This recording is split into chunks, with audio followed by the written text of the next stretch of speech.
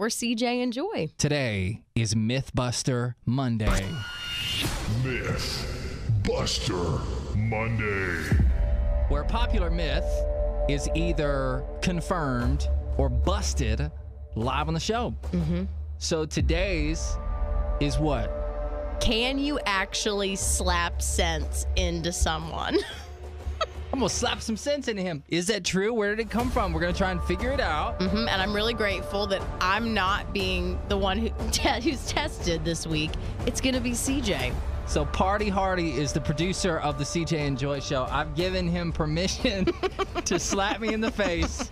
Immediately upon doing so, Joy is going to give me a math problem, which I'm not very good at.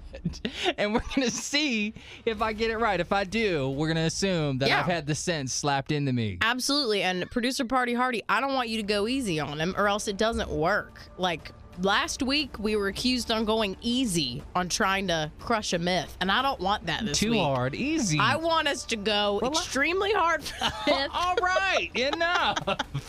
Okay, are you guys ready? All right, you have my full permission to slap me in the face. Look Are you going to stand up, CJ, or would you like to be slapped sitting down? I'll sit down.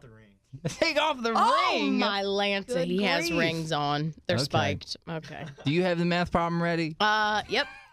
I got it. It's an easy one. I just want to see. I see. ought to be getting a bonus for this or something. Okay, all right, give it to me. Right now? Yeah. 12.